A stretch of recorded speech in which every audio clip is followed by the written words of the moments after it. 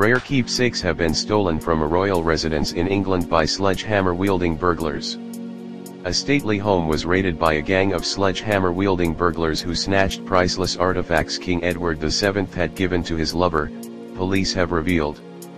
The thieves descended on Sudeley Castle in Winchcombe, near Cheltenham in the early hours of the morning before speeding after once they had stolen the goods. Forcing their way in, four people were seen on CCTV marching through the exhibition area of the 15th century building, smashing a display cabinet and grabbing the jewellery and heirlooms.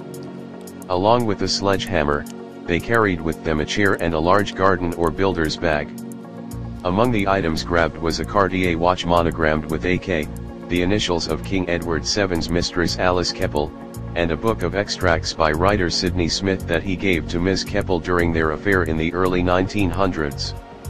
The items once belonged to Lord Ashcombe, a grandson of Ms. Keppel, who brought them to Sudeley when he married Elizabeth, now Lady Ashcombe, who owns the castle. Police are appealing to witnesses for information about the incident.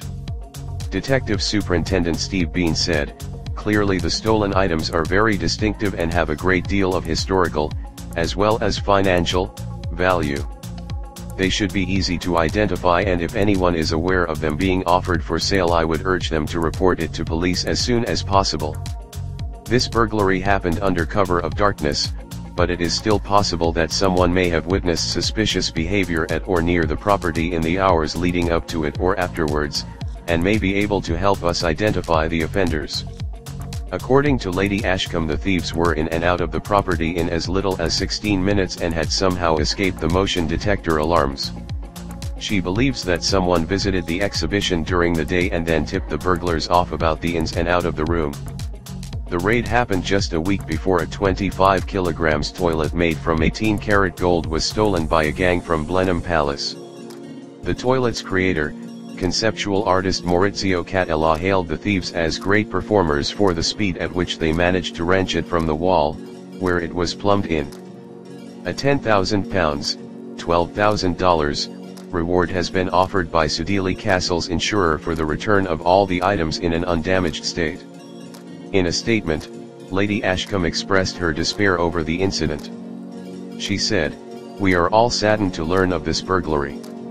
There were beautiful artifacts on display for everyone to enjoy and were very precious to me personally.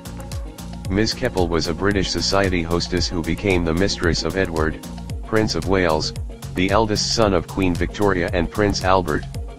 She was the most famous mistress of Edward, whose lovers are rumored to have included Winston Churchill's mother Jennie Churchill. Their relationship continued when he became king and ended with his death. Keppel and the future king met in 1898 when she was 29 years old and he was 56. Keppel was married to George Keppel, the son of an earl, while the future king was married to Alexandra of Denmark. The youngest of nine children, Keppel was the great-grandmother of Camilla, Duchess of Cornwall, and the grandmother of Lady Ashcombe's late husband. The 15th century castle is the only private castle in England to have a queen buried in the grounds.